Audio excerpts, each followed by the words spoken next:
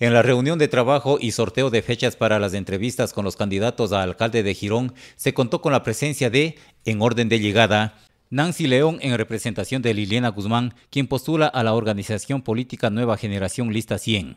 Arturo Campoverde, candidato a la alcaldía por la agrupación política Ya por la Alianza 133421.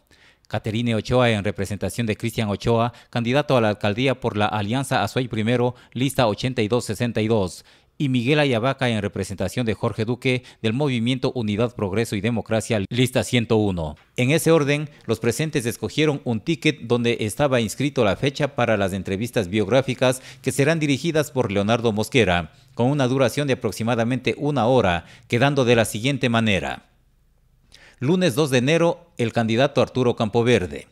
Martes 3 de enero, el candidato Cristian Ochoa. Lunes 9 de enero, candidato Jorge Duque y martes 10 de enero, la candidata Liliana Guzmán.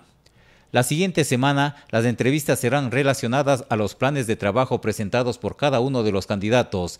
Este diálogo será dirigido por Eloy Peralta y en ella se concederá un espacio de 45 minutos para cada candidato a alcalde, 20 minutos a los candidatos a concejales y 10 minutos a cada agrupación política por las candidaturas a las dos juntas parroquiales que tiene Girón.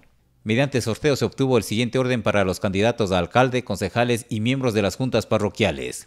Lunes 16 de enero, Arturo Campoverde. Martes 17 de enero, Cristian Ochoa.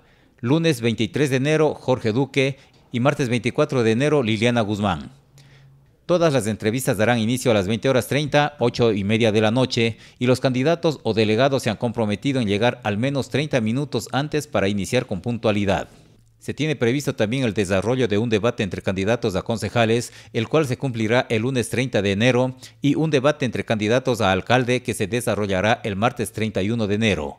Aclarando que todos los candidatos han cumplido con los requisitos planteados por este medio, que eran asistir a la reunión y en la fecha máxima del jueves 22 de diciembre entregar el plan de trabajo impreso.